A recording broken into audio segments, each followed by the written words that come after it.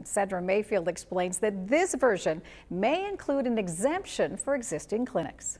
As the Lansing City Council works to draft a medical marijuana ordinance, they're considering an exemption for existing dispensaries. The current uh, locations could be grandfathered. Councilmember Carol Wood also serves on the city's Public Safety Committee and says a one size fits all policy isn't the best option. You have to consider that uh, these places chose to open up before there was licensing requirements. Under the proposed grandfather clause, the city's existing 48 medical marijuana clinics could continue operating less than a thousand feet away from churches and schools, including Resurrection here on Michigan Avenue. The uh, concern that the diocese has is obviously for the safety of the children. Attorney Tom Hitch represents the Catholic Diocese of Lansing. He says a grandfather clause would be as if the law didn't exist at all. To leave so many unregulated just would seem to defeat the purpose of the ordinance altogether. Dispensary owner Shakina Pena disagrees. I think it's a blessing. I, am very happy with it. Pena owns Your Healthy Choice Clinic on Michigan Avenue and likes that the grandfather clause will limit new clinics from opening nearby. And they're requiring those to be a thousand feet away from school, church, and one another, so we don't have that